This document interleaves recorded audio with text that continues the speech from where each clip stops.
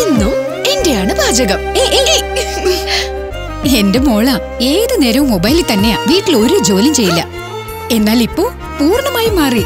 എല്ലാം വീട്ടിൽ വിഭൂഷ വന്ന സമയമാ. വിവിധ തരം ഡിഷുകളും പുതിയ പാചകങ്ങളും പരീക്ഷിക്കുന്നു. നല്ല സ്വാദുണ്ട് ഇതിനൊക്കെ വിഭൂഷയ്ക്കാണ് നന്ദി പറയേണ്ടത്. വിഭൂഷ ഇനി ആർക്കും പാചകം ചെയ്യാൻ കഴിയും. ഈസിയായി.